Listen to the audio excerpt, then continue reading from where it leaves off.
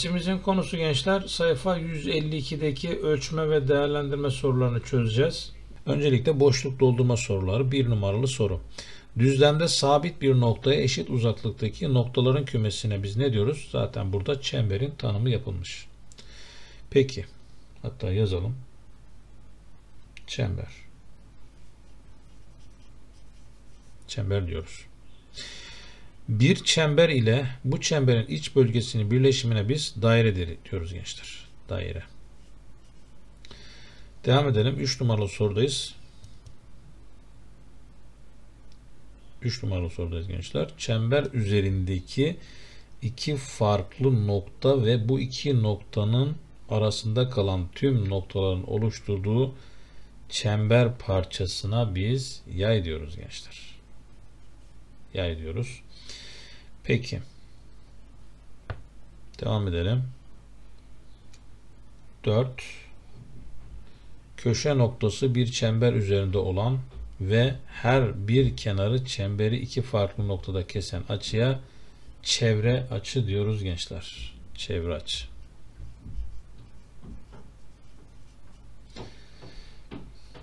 Devam edelim bakalım. 5 nolu soru eşleştirme sorusu. Yine burada tanımları bilmemiz gerekiyor. Başlangıç ve bitiş noktaları çember üzerinde olan ve çemberin merkezinden geçen doğru parçasıdır. Başlangıç ve bitiş noktaları çember üzerinde, o, çember üzerinde olan. Bu aslında kirişin tanımı gençler. Şöyle anlatalım size. Şu benim çemberim olsun. Bakın başlangıç ve bitiş noktaları çember üzerinde olursa ki burası A noktası olsun başlangıç noktası bu da bitiş noktası olsun. Çember üzerinde olduğu zaman biz buna AB kirişi diyoruz gençler. O, o zaman ne olacak? Burası bir numarayla eşleşecek. Yalnız burada dikkat etmemiz gereken bir husus var. Sonradan fark ettim. Bunu silelim. Evet tanım aslında şuraya kadar kirişin tanımı ve demiş devam etmiş. Çemberin merkezinden geçen doğru parçasıysa Dolayısıyla yani kirişimiz çemberin merkezinden geçerse biz buna özel olarak bu kirişe çap diyoruz. Dolayısıyla biz burada çapın tarifi verilmiş 3 ile eşleştirdik. B şıkkındayız gençler. Düzlemde bir çember ile tek bir ortak noktası olan doğrudur ki bu da teğetin tanımı. Şöyle bir teğet çizelim size. Bu bir teğet gençler. Devam edelim. B şıkkı teğet olacak. Yani bu durumda 4 oluyor. C şıkkı cem, çemberin C şıkkı çemberin üzerindeki iki farklı noktayı birleştiren doğru parçası. İşte bakın bu kiriş oldu.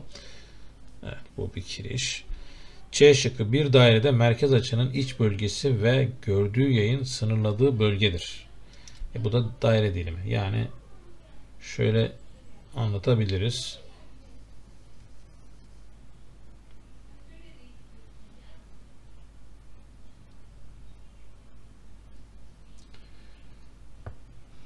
Evet C şık Şimdi C şık için şöyle size izah edeyim. Ne demek istiyor? Bir dairede merkez açının iç bölgesi ve gördüğü yayın sınırladığı bölge. Bölgede daire değil mi gençler? Bu aslında şimdi mesela şurası merkez olsun. Şu şekilde o merkez olsun. Aslında şu kısım nedir diyor. Burası daire dilimidir. Ha şu parça yaydır. Şu parça yaydır. Taradığım kısım daire dilimi olacak. Yani aradığımız cevap 2 olacak. Devam edelim bakalım gençler. Altınoğlu sorudayız. Şöyle büyütelim. Altınoğlu soru. Test uçuşları yapılan bir insansız hava aracının düzlemdeki kumanda menzili 10 kilometredir. Evet 10 kilometredir. Buna göre insansız hava aracının kaç kilometre kare alan üzerinde uçuş gerçekleştirebileceğini bulunuz. Evet bu da kolay bir soru. Yani bizden e, yarı çapını vermiş. Kumanda menzili yarı çapını vermiş. Bizden alanı soruyor. Yani pi r kare alan formülü olduğuna göre götürüp yerine yazarsam pi onun karesi yani 100 pi olacaktır aradığımız cevap. Peki. 7 nolu sorudayız gençler. bir daire üzerinde bulunan bir daire üzerinde bulunan bir daire üzerinde bulunan ve birbirine uzaklığı en fazla olan iki nokta arasındaki uzaklık 18 santim. Hmm. Yani aslında çapı 18 santimmiş değil mi? En, en uzun. Aradaki farkın en uzun olması için şöyle diyelim. Şimdi bu şöyle düşünün. Çapı da çizdim böyle rahat konuşalım. Şimdi bu bizim çap ya. Yani buradaki A noktası ile B noktası arasındaki en uzak mesafe çap olursa bu şekilde e, bir durum söz konusu en uzak olması için çapla çapın iki uç noktasında olması gerekiyor. İki noktanı uzatmayalım. E, çap 18 birimmiş. O zaman yarı çap 9'dur. 9. Buna göre bu dairenin alanı nedir? O oldukça kolay. Alan eşittir. Pi r kareden olacaktır. Pi çarpı 9'un karesi ki o da 81 pi olacaktır. Aranan alan. Sorular çok kolay gençler. Onu söyleyeyim. Kitabımızın soruları oldukça kolay. Biraz üşütmemiz gerekiyor. Evet. Ne diyor sorumuz? Yanda kare şeklinde bir camın B ve D köşesi mavi ve pembe renklerle çeyrek daire biçiminde boyanmıştır ki onları görüyoruz. Çeyrek daire. Bu önemli. Bu cam AC boyunca AC boyunca kesilerek kesilerek B noktası D noktası ve ADC üçgeni neredesin ADC üçgeni? A DC evet ADC üçgeni ile ABC üçgeninin eş kenarları çakışacak şekilde üst üste konulmuştur. Yani bunu al diyor B noktasını D noktasıyla örtüştür diyor ve üçgenleri çakıştır hatta katla diyor yani uzun lafın kısası katlama sorusu. Buna göre ne diyor soru bizden ne istiyor? Buna göre devam edelim. DE uzunluğu ve DF uzunluğu 3 santim. Bunları bir yazalım. DE uzunluğu neresi? DE bir dakika. DE neresi? Evet şurası. Gördüm. Şurası 3 santim. O zaman burada 3 santim. DF de 3 santimmiş. DF neresi? DF zaten çeyrek çember. Gerek yok. Buralarda 2 santim. Tamam. Ve ve pembe parça üstte olduğuna göre bu şekle üstten bakıldığında mavi görünen bölgenin alanı kaç santimetre karedir? Yani demek istediği şey şu mavi alandan pembe alanı bir zahmet çıkar. O zaman bulalım. Çok basit bir soru yine.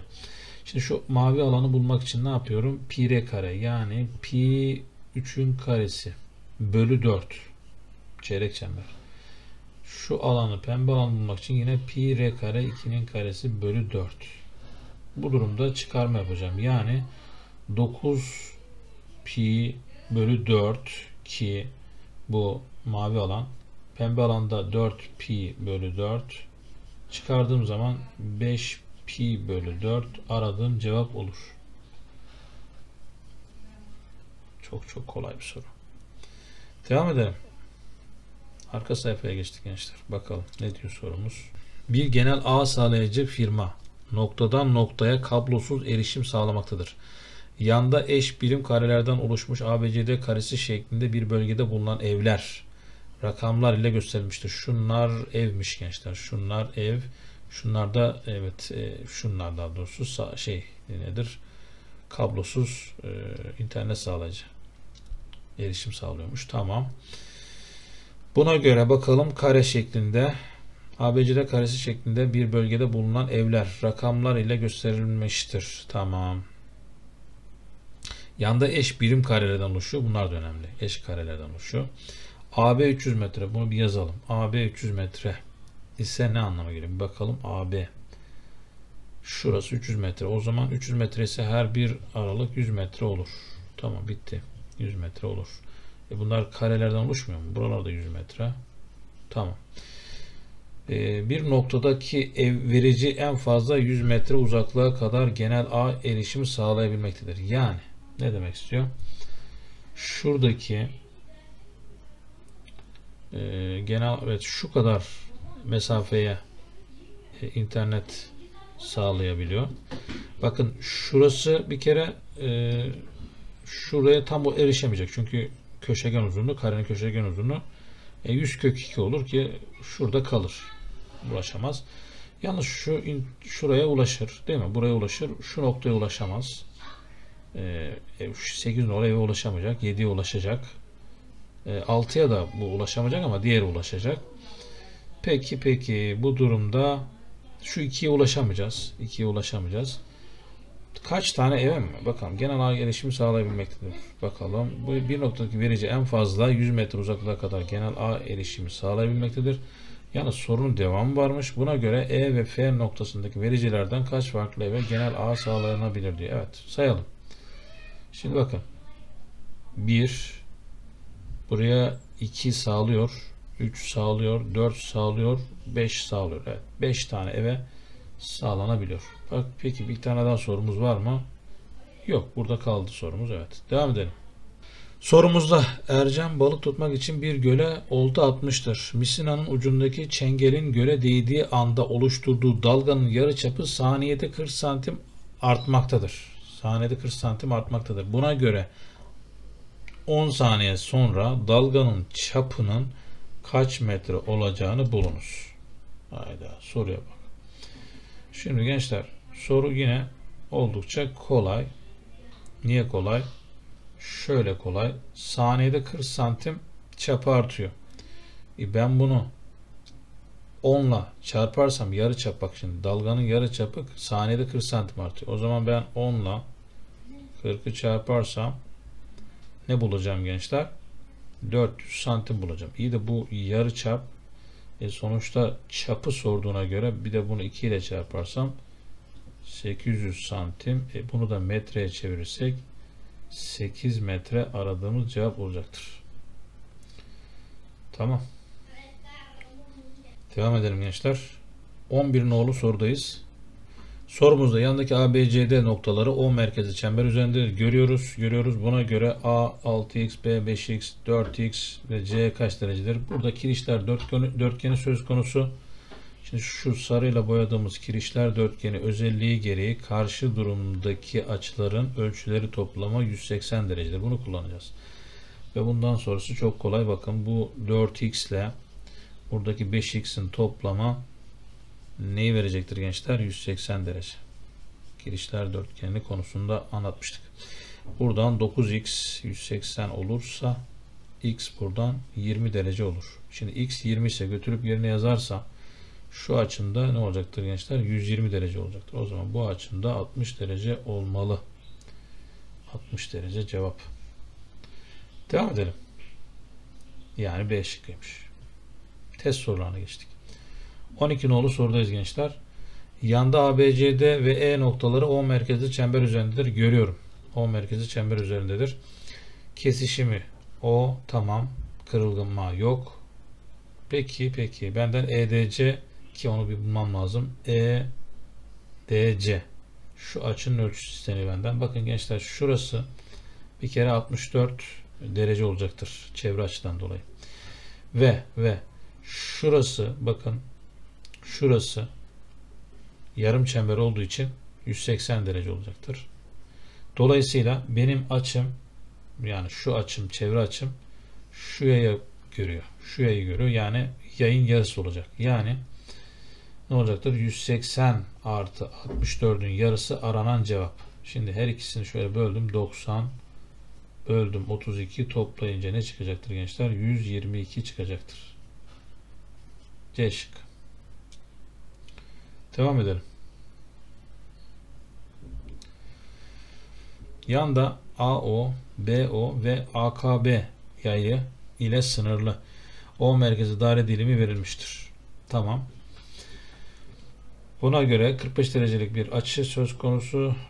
Şuraların uzunlukları verilmiş. Yazalım hemen üzerine 4 santim. Yani yarı çapım 4 santim. Buna göre boyalı alan nedir? Oldukça yine kolay bir soru. Ne yapacağız? Tüm alandan beyaz alanı çıkarabilirim. Öyle bulabilirim. Şöyle yapalım. Beyaz alanı bulmak için ne yapıyorum şimdi? 45 bölü 360 daire diliminin alanını bu şekilde buluyoruz gençler. 45 bölü 360 çarpı dairenin alanı. Yani yarı çapı 4 olduğuna göre pi r kare 4'ün karesi. Peki buradan devam edelim. Şu 45 ile 360 sadeleştirirsem e, ne olacaktır? 8 olacaktır. 8 olacaktır. E o zaman 16 pi bölü 8 de 2 pi olacaktır. Peki bu durumda e, beyaz alan 2 pi. E, tamamı nedir? Tamamı da 16 pi'dir. Pi r kareden 16 pi'dir. 16 pi'den 2 pi düşecek olursam cevap 14 pi olur gençler. Cevap D şık. Devam edelim. 14 nolu sorudayız. Yandaki e, O merkezli daire dilimi ve AOB dik üçgeni verilmiş. Görüyoruz. Peki AB yayı ile sınırlı daire diliminin alanı 9 e, pi santimetre kareymiş. AB yayı ile sınırlı daire diliminin alanı. Buradan tam net anlayalım. AB yayıyla sınırlı daire diliminin alanı yani şu alan muhtemelen neymiş? 9 pi'ymiş. Peki 9 pi santimetre AOB dik üçgenin alanı benden isteniyor. Hemen şöyle yapalım. Şimdi bakın şu daire diliminin alanını nasıl hesaplıyorum yine? Açı merkez açı önemli. 90 bölü 360 pi r kare yazdım. Pi r kare ki buraları r yarıçap eşittir. Ee, şöyle yapacağız. Ee, buradan 9 pi eşitleyeceğim. 9 pi eşitleyeceğim. Devam edelim. Şimdi şu pi götürsün. Götürdüm. E buradan da 4 çıkacak. Burası içler dışlar çarptığımız zaman r kare eşittir 36. R eşittir 6. Şimdi R 6 ise buradaki dik üçgenin alanı ne olacaktır? Dik üçgenimizin alanı dik kenarların çarpımının yarısından bulabileceğim alanı ki o da 18 santimetre kare olacaktır. Yani E şık. Devam edelim. Evet, 15. ve 16. soruları aşağıda verilen görsel metne göre cevaplayınız diyor. Aşağıda çember şeklinde bir atlı karınca modeli verilmiş. Tamam. Tamam. Çember şeklindeki bir atlı karınca üzerinde 8 oyuncak at vardır. Tamam. M noktası neredesin? Evet. M noktası çember şeklindeki atlı karıncanın modelini merkezi merkezde oyuncak atlara bağlı demir çubukların uzunluğu 3 metre. Hmm, yani yarıçap 3 metre demek istiyor. Şuralar 3 metreymiş gençler. Tamam. Oyuncak atlar çember üzerindeki ABC, DEF, H noktalarına eşit uzak aralıklarla yerleştirilmiş. Yani merkez açılarının ölçüleri birbirine eşitmiş. Tamam. Buna göre şimdi sorular geliyor herhalde. Evet ard arda olan iki oyuncak at arasındaki yay parçalarının ölçüsünü kaç derece olacağını bulunuz. Yay parçalarının ölçüsü aslında merkez açıyla yay ölçüsü birbirine eşit olduğuna göre benim kaç tane merkez açısı olduğunu bulmam lazım. Bakalım sayalım. Şimdi bakın 1, 2, 3, şu 4. Yarısı 4. 4 öbür tarafta 8. Demek ki ben 360'ı 8'e bölerek ki 45 derece buradaki şu yayların ölçüsünü 45 derece olarak bulmuş olurum. Bu sorumuzun cevabıdır. Diğer sorumuza bakıyorum. Ard arda iki oyuncak at arasındaki yay parçalarının kaç metre uzunluğunda olduğunu bulunuz. Yani şu yayların ölçüsü, uzunluğu isteniyor, ölçüsü istenmiyor. Bakın ölçü farklı bir şey. Bakın aynı yaydan bahset yani aynı yayın hem uzunluğundan hem de ölçüsünden bahsedebiliriz. Örneğin e, FE yayının ölçüsü derece olarak 45 dereceyken şimdi birazdan FE yayının uzunluğunu bulacağız. FE yayının uzunluğunu da şöyle bulacağız. E, daire şöyle diyelim. Burası 45 derecelik bir merkez açı olduğu için şöyle yapacağım. 45 bölü 360 ile buradaki çemberin çevresini ne yapacağım? Çarpacağım. Ya o zaman yarı çapımda 3 metre olduğu için 2 pi r formülüm 2 pi yarıçap r 3 metre Peki 3 metre bile diye yazabiliriz. Peki buradan ne olur? 2 kere 3 6 böldüm. 6 ee, 60 oldu. Evet. Buradan 15'e böldüm. 15'e böldüm. 3 buradan böldüm 4. O zaman aradığımız cevap 3 pi bölü 4 metre olacaktır gençler. Evet gençler bu da bizim son sorumuzdu. Ne yapmış olduk? E, temel düzey matematik kitabını 11. sınıf temel düzey matematik kitabını bitirmiş olduk. E, burada kendinize iyi bakın diyorum. İyi çalışmalar diliyorum. Hadi bakalım.